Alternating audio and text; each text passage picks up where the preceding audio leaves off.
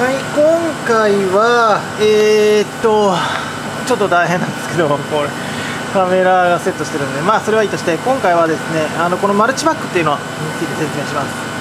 なんかうん今なんで 彼はフォークス合わせたのか分かんないですけど。えー、っとこんな感じですね。えー、ちょっと本当見えづらいですね。これで分かるんやろうかと。もっと拡大してみましょうか。まあどっちにしろこっち側ぐらいしか使わないですからね。えー、っとですね。まあこんなもんでいいかな。う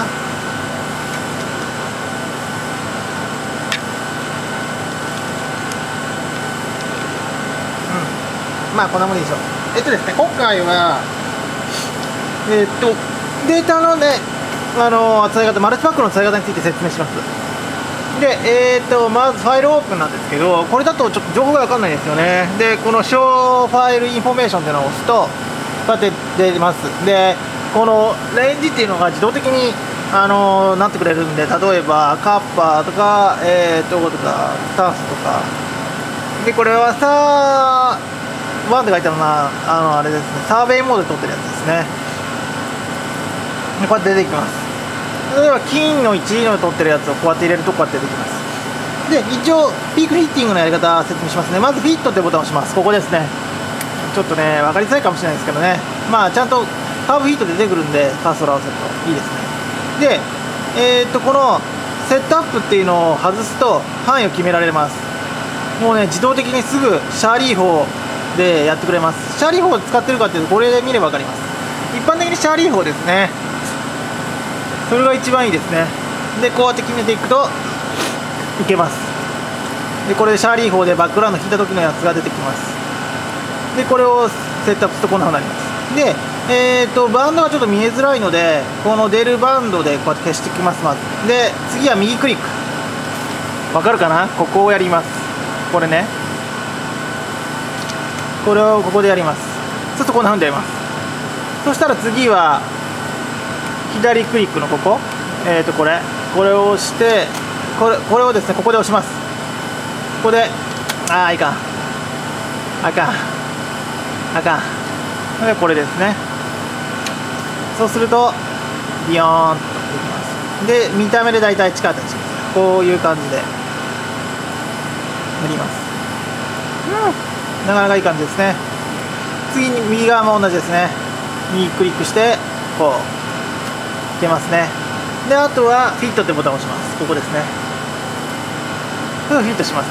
まあおおむねいいと思います。バックグラウンドの形がいい感じですもんね。そうすると84.31とか87.97とかになります。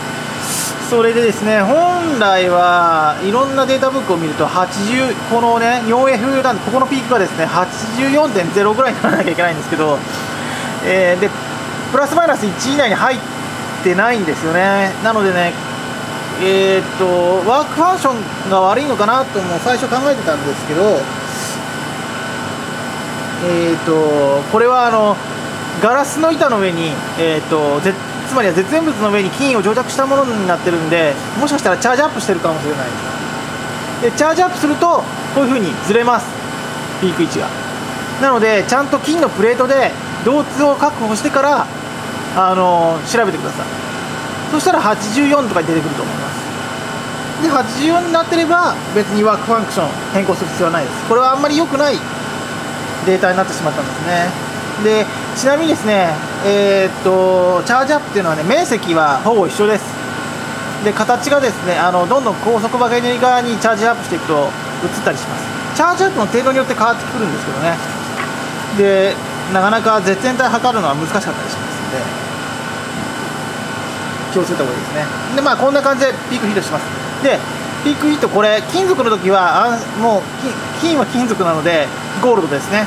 あこのアンシメトリーです。で金属じゃない場合にはこのガウシアンローレンツでやればいいです。まあおおむね分解のが悪いとヒットできちゃうんです。けどやっぱりこうやって違い出てきます。やはりね金属のものっていうのは、えー、多体効果でここにテールを引いてきますのでえー、っとアンシメトリーでフィットするのが良いと思います。ただ金属じゃないものになるとえっ、ー、とこの多体効果を入れるっていうのはうんとまああまり良くないわけではないんですけど、えーと、理由をちゃんと考えて入れなきゃいけないです金属はアンシメトリーですで金属じゃないものにはついてはガウシャンローレンチャンになって入れますでですね、えーと、次ですけども、ファイルオープンで、じゃあさ、アベイモードのデータをちょっと出してみましょうかね。あそうですね。え、ー、と、サーベイモードではあまりちょっと、時期が違うのだと 違うのになっちゃうんで、えっ、ー、と、例えばこれがいいかな？あ、これにしましょうか。こんなのにします。こういうのが出てきます。そしたら、えーと、まずはですね同定方法として ID というボタンがありますこれは、えーと、こうやって押すとあのピークからどんなのがあるのかなって調べてくれますで右側に出てきますただこれは、えーと、ピークの候補が出てくるだけなので全体のねこのここのピークとかこのピークとかの対応関係まで考慮して出てるわけじゃないです。なので一旦これをですね消してもう一回つけるとあのー、例えばカッパだったらあここはカッカッパだね。カッパだったらカッパに対応するものが全て表示されます。で一部表示されてないところがあったらどうしてなのかっていうのを考えた方がいいですね。でこうやって見てきます。うんこういう風になってきます。まあ炭素とかカルシウムはこれ見るとほとんどないですからもうなくしてもいいかなっていう気がしますね。あ炭素あるんかな？あありますね。ごめんなさい。ここに炭素のピークありますね。アルゴンもほとんどないのでなしてもいいかなって気がしますね。で、えー、窒素もなくてもいいかなって気がしますね。でこんな感じになりますね。C1 のピークはちゃんと出てますもんね。あと酸素は O ですけどここはないですね。こうやってできます。それであと分かんないピークできますね。王者のこともあります。こういう同定できなかったのは王者だったりすることもあります。あちょっと待ってくださいね。これアルゴンではないね。でそういう時にはこのマウスの右クリック。こちらですね。こちらを押しながらスライドすると実はこうやって候補が出ます。何かなっていうのが。でこの候補からも探ることができます。いっぱい候補が出てきますんで、えー、よく考えた方がいいですね。それでですねああちょっとずれちゃった。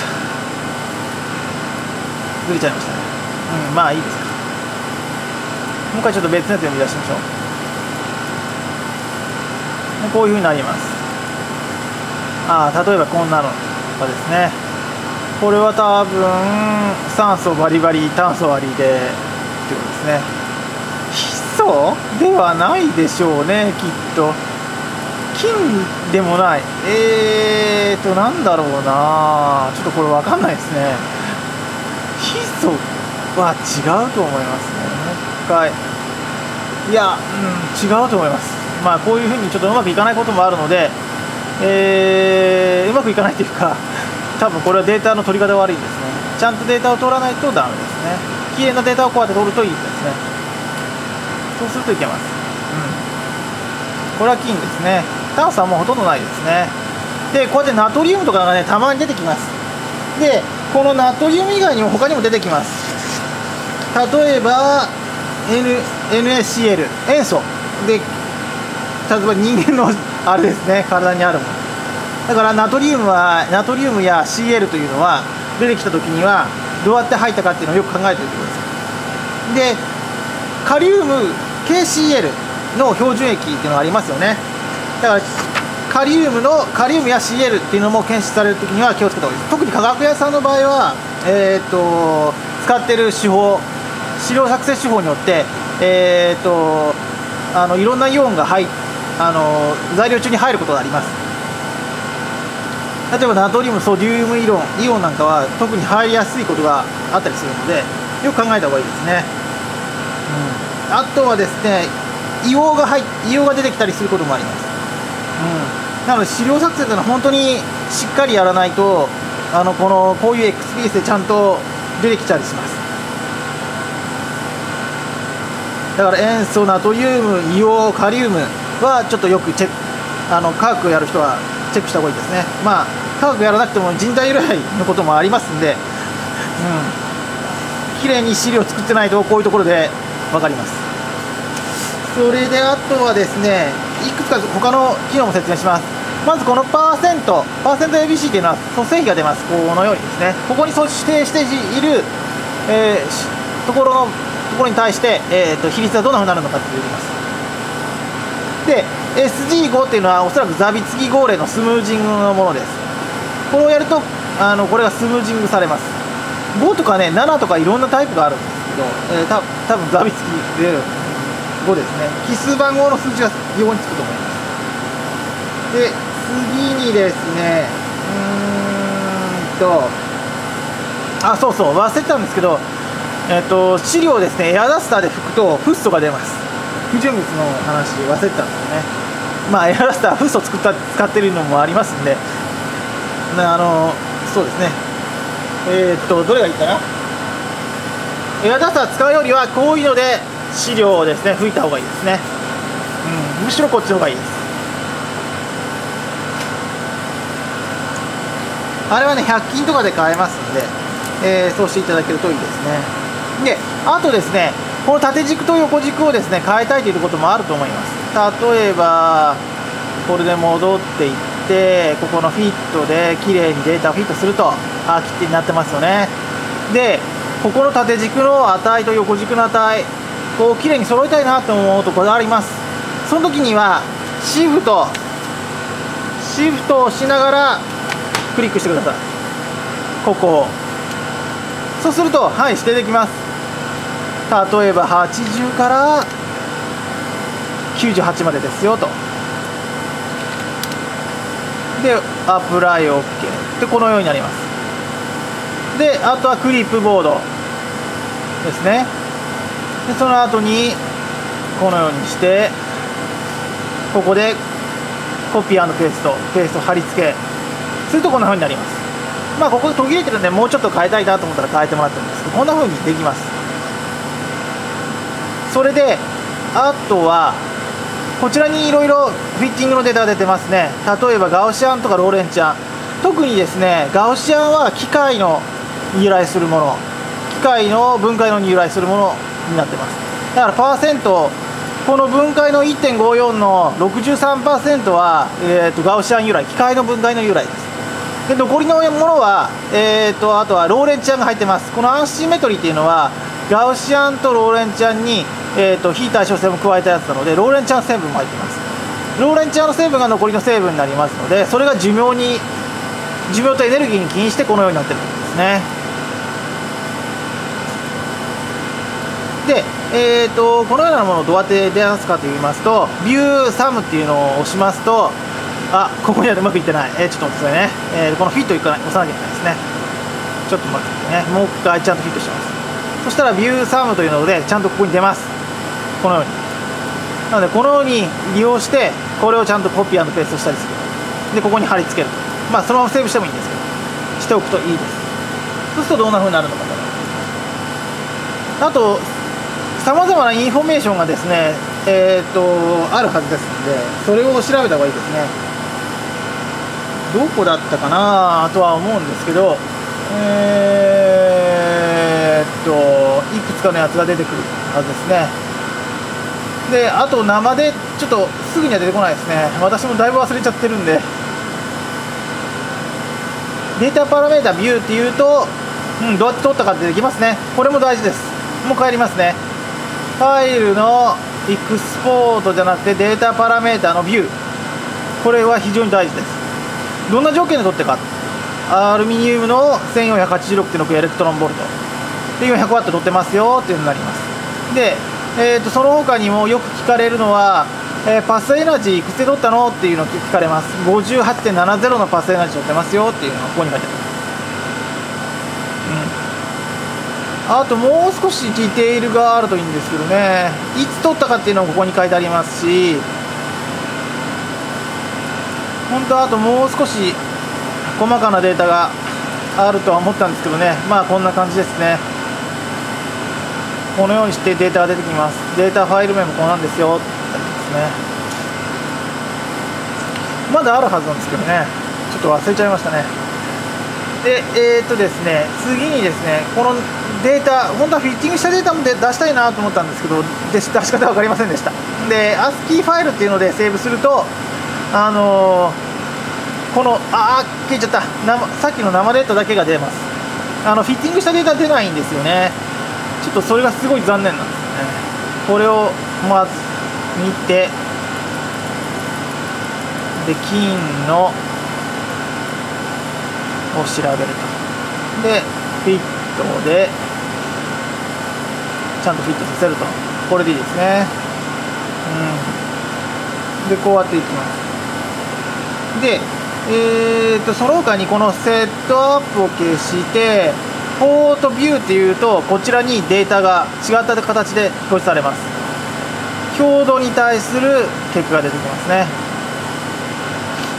あとは蘇生に対してのものだったりあったりとかここのこれを選べたりとかいろいろしてあり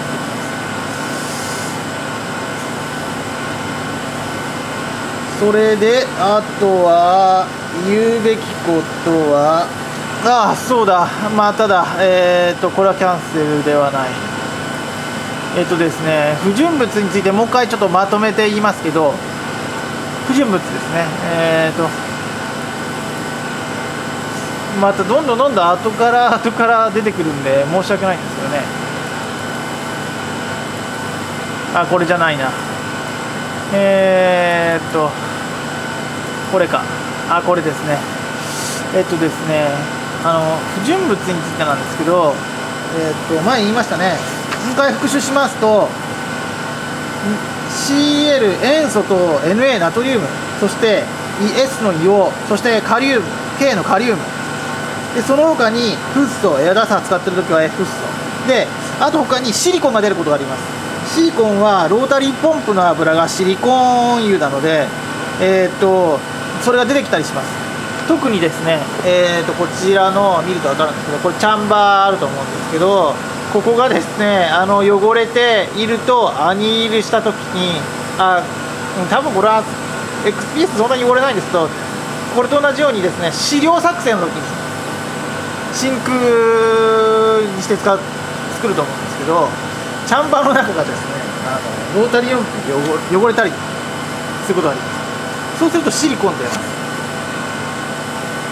出ることがあります。正確には出ることがあります。だからそういう時はね気をつけた方がいいですね。それでまああと他にもいくつかあるんですけど機能が。うーんとそうですね。えー、例えばデータのシフトセットアップっていう時にはあると思うんですけどこれをですねえー、っといくつかにするっていう設定するとシフトしてくれますこういう。変わってますよね。こうやって変えることができるんですね。でこのシフトはね確か炭素に対して対応してたのでこれ今 4F に対応してるのでこれはダメなんですけど炭素を取った時にこれと対応するようにするのがいいです。もう一回ちょっと消しますね。炭素があるデータ。と本当は締めあのクローズしなくてもよかったんですけど例えばえー、っとこれの多分これ炭素が出てくると思うんですけどああ出ないか。うーんなかなか難しいな。えー、っと炭素が出そうなこれかな？ああこれも綺麗だね。もうちょっとこれかな？あこれ炭素出てますね。まあ ID かけるまでもないんですけど。出てますよね。でこれを拡大して。拡大して。こうやって出てきますよね。でデータのシフトセットアップでん？なんかうまくいってないな。あこのワイトスキャンでダメみたいですね。ナノスキャンで炭素の時にやると全部横軸が今取ったデータが横軸ずれてくれます。そういうね便利なのですね。まあこれは無理でしたね。しょうがないですね。さっきはうまくいってたのであれは狭い範囲のスキャンだったのでよかったです。でまあちょっともう一回 Windows のリサイズっていうのをやるとああないですね。まあこのフルスクリーンっていうのはこういうふうになったりするんですけど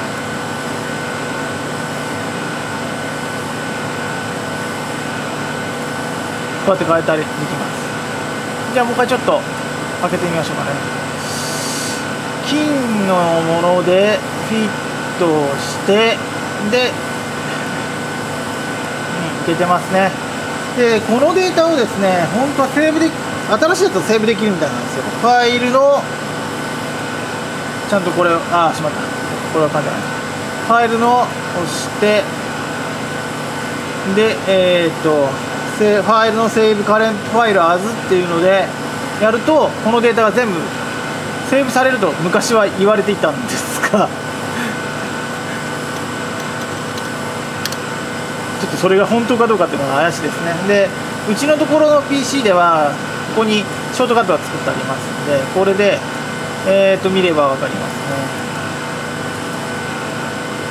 でえー、とできてると思うんですけど。多分、うん、壊れてますね。普通はですねこれにちゃんとデータが 出てるはずなんですけどやっぱり古いやつはちょっとダメかもしれませんね。でスペックっていうのはねさらにこの条件がいろいろ書いてあります。ね。ワークファクション45ですよ。でもねこれ表示されてるのは下1桁までで本当は下2桁まで入力できる仕組みになってるんで下2桁まで入力してあります。だからこれ本当は4.5ではないです。まあこれ表示されないですけどね。からこれはあまり鵜呑みにしちゃだめですね。ワークファンクションは実際はこれ下2桁まで入力されてますんでこれ丸めてあります。これ気をつけてください。で他のデータで大事なのはまあある程度ワークファンクションこれだなっていうのが分かる。のが大事ですね。他には特にあれかな。あとはこれですね。ステージポジションが45度になってるんでテイクオフアングルなんですけどこれは45度っていうのもチェックしてですね。あのモノクロ使う時には75にしなきゃいけない。それは気をつけてもらいたいですね。でもこのデータが壊れてるのがちょっと嫌ですけどね。これ多分カーブフィットしたのが出てきてるんですよね。最新版だとちゃんとしたのになるかもしれないですけどこんな文字化けしてるのは非常に悲しいですけどしょうがないですね。なんでこんな風になってるのか分かんないですね。まあこんな感じですね。本当はフィッティングした後のデータがちゃんと出てくるといいんですけどね。まあそこはしょうがないです。でこのアクアっていうのは前回取った値を生み出すことができます。こうやって前回取ったのはこれですよって出てきます。なので前回というかあの正確には今取ってるやつ。今取ってるやつか、えー、今取ってるじゃなかったら前回なんです。がこう呼び出されます。こんなふうになります。まあこんなところですかね。あと他に使うような機能はそこそこそんなにないと思いますね。うん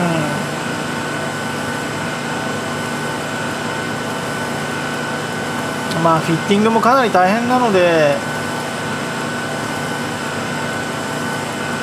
本当はあんまりやりたくないなというのは確かにありますよね。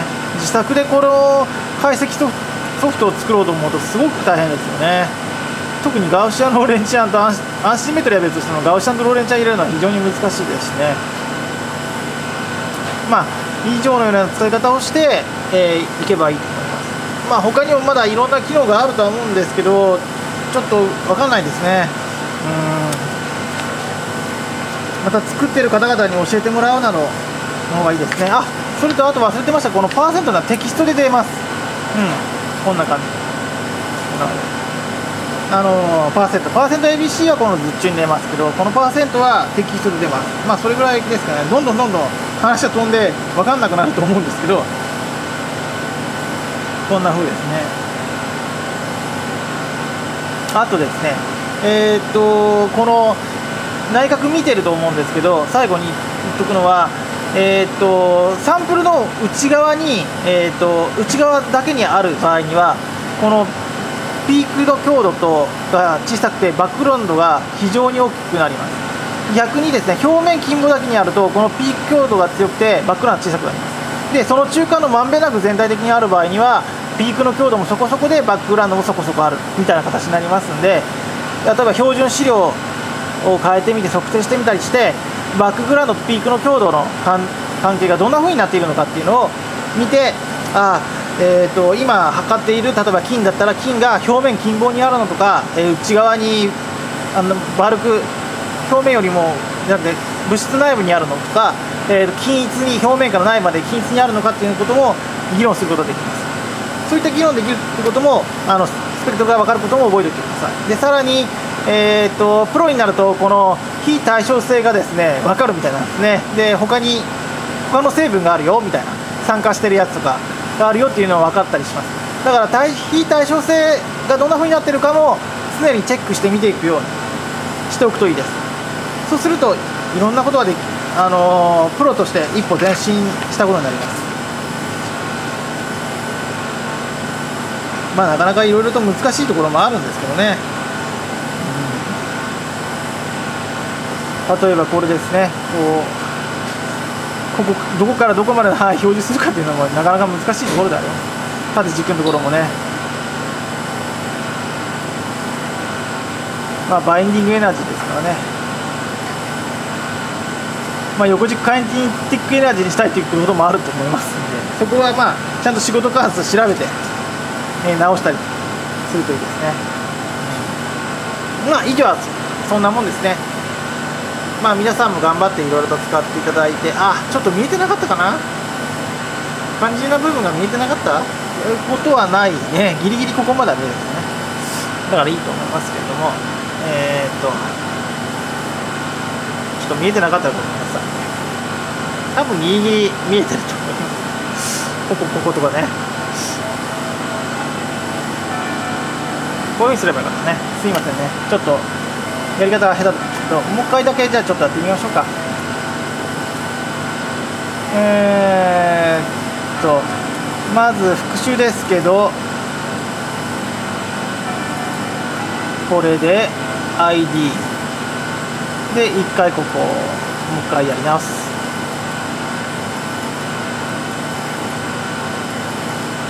まあないものはもう除いていいと思います。こうやってね。あそうするともうカッパぐらいしかないですね。で分かんないのが出てきますね。あこれは多分 C ですが C は残ってましたね。なので C は残しておいた方がいいですね。なので。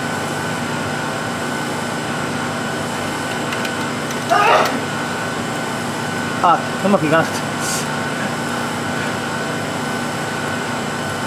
もう一回ちょっとやり直しましょう。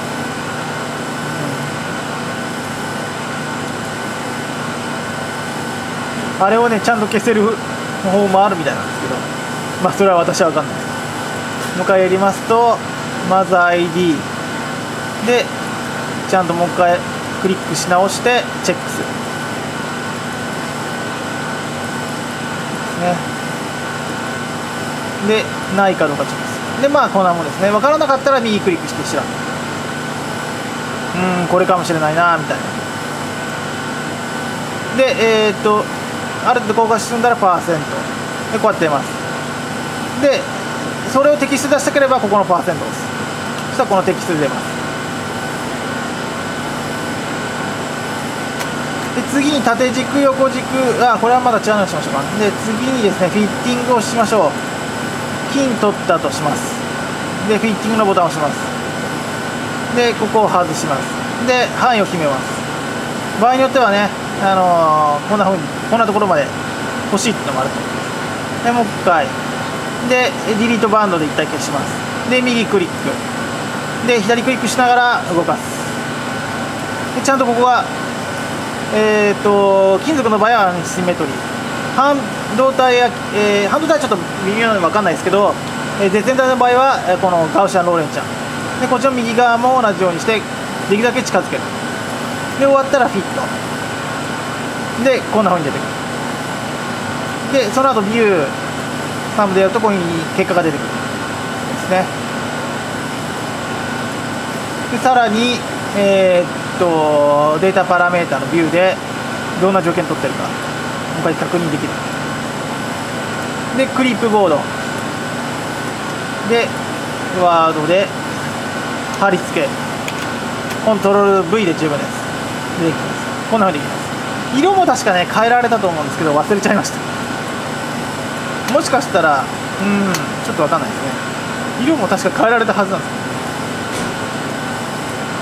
ああ余計なの出ちゃったな。色もね変え変えられたとは思うんですけどもうちょっと忘れちゃいました。すいません。どっかで変えられたはずですね。まあいいか。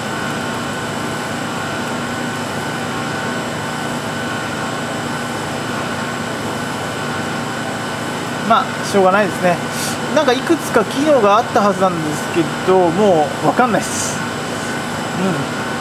うん。色も変えられた気がし最新版は確かね色も綺麗に変えられたはずなんですよ。それがもうちょっと忘れてしまったんですね。私は。ごめんなさい。うん。だってまあシフトセットアップとかで炭素の 1S 取ってる時はこれであの C1S ピークに合わせたりいう感じですね、そんなもんです。すみません。まだまだ勉強不足なんですけど今分かってるのはこれぐらいなのでまあ皆さんもこんな風に使ってみていただければと思います。